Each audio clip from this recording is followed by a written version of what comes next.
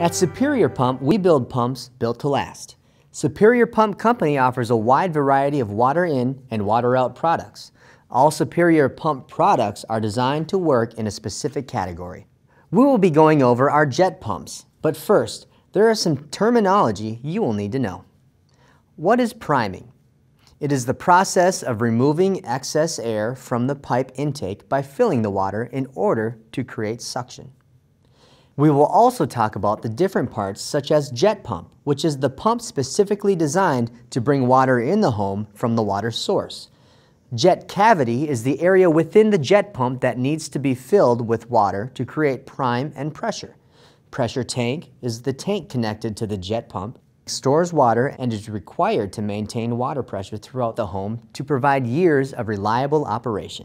And priming screw, which is the removable screw on top of the jet pump used for priming.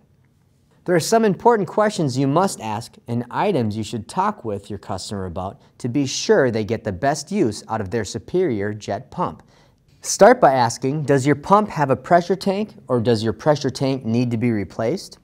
Superior jet pumps require a pressure tank for proper operation. Next ask, are you familiar with how to fill the intake pipe with water to get the air out of the line?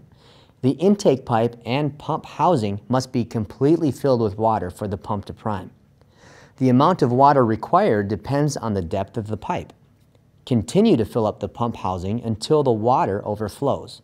Finally ask, do you know how to prime your jet pump?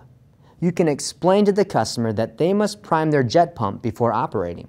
Explaining this at the time of purchase will help eliminate any issues during installation.